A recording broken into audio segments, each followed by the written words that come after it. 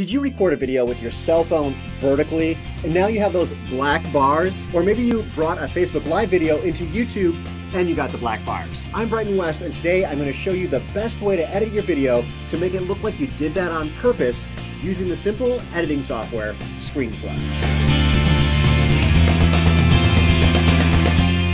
So in my last video, I uploaded a Facebook Live video to YouTube uh, directly, and I got these black bars because most Facebook Live videos are square. And I'm going to show you a different way to deal with that by using ScreenFlow in between. So this is showing what it looks like if you load the image directly from Facebook up into YouTube. But if you take that video file from Facebook and put it into ScreenFlow first, you can make it a lot prettier, and then you can upload the file from ScreenFlow to YouTube, and that's what I'm going to show you now. So you'll head over to ScreenFlow. So I'll start in ScreenFlow by creating a new document, so File, New, and 720p is a great size for doing this, and just click the New button. And then what you'll do is head over to your desktop or to File Manager, and bring in the Facebook Live video that you created, the one that you just saved out, and drag that onto the timeline. And then what I'm going to do is just start playing with that a little bit. So I can start by cleaning it up. That's one of the beauties of doing this is there's this kind of pause at the beginning that's like an awkward pause before I start talking. Um, and looks like let's get rid of that. So I'm going to put the playhead there click on the split clip, click here and delete that, and then delete the space.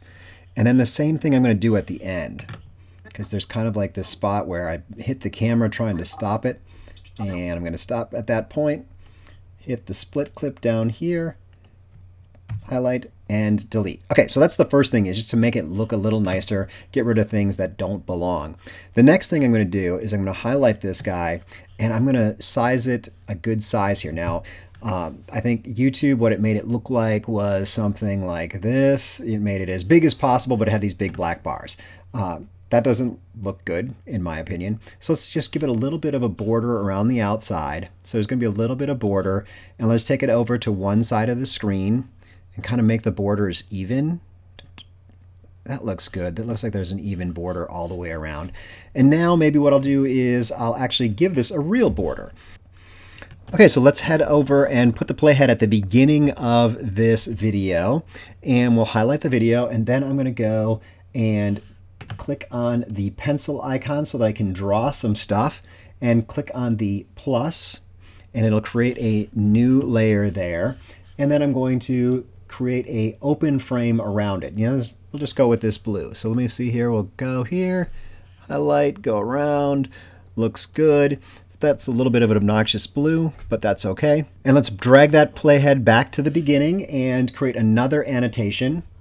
And this time I'm going to create the background. So you actually have to start, this is kind of a, just a tricky thing in um, ScreenFlow. You actually have to start the corner inside the viewable, the screen area. So what I do is I make it a little bit bigger and then when I've placed it there, I can drag it back in and put it and make sure it's over the entire frame. Now we'll change this to a slightly different color. Let's see here. How about a light blue?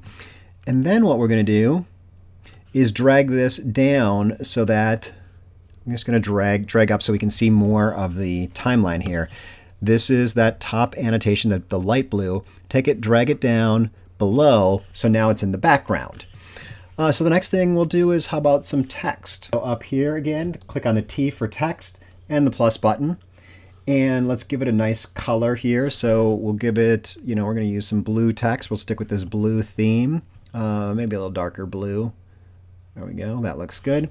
Uh, choose a font, anything but Comic Sans, uh, unless you're seven. You can use Comic Sans if you're seven uh, or younger, but not if you're older than that. Uh, so let's give this thing a title. So this will be Facebook to YouTube. Then if I click outside, I can get this where I can place this up here. And I don't want this backdrop, don't need the backdrop, so let's uncheck that. And that's looking good. So now we've got a title, and it's lined up really nicely here.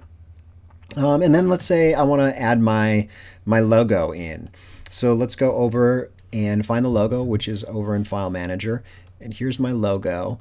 And I'm going to drag it down. Now you can't drag it above that top layer, so you can actually drag it to the bottom layer where there's nothing, and there's always adds a layer to the bottom, and then just grab here and pull this up over the top. So the logo is pretty big, so now with it highlighted, I can go over to video here, change the scale. Let's get the scale about right, and then move it to the right position. Still not, it's still a little too big. So the next thing we're going to do is make sure these go all the way across the video. So we'll, we'll click on them while holding down the Command key. And then take the right-hand side and drag it all the way over. So now the entire video will have that background and all we need to do is to export that and we'll choose 100%. We want the, the full size and we'll give this thing a good name, SEO optimized. So click export and that'll be the file, that exported file will be the file that you upload to YouTube. So you get this nice frame around the, the image throughout your video. And, and one more thing I want to mention is you can change this. You don't have to have the same frame the entire time. You can do like a PowerPoint presentation over here while you're talking over here. That's another great option. So that's a great way to add value when you have this additional space like you do on YouTube when the video is horizontal.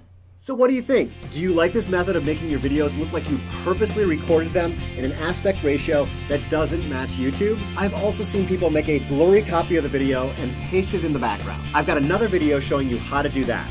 So be sure to subscribe to my channel so you don't miss any of my great tips on how to look professional on YouTube.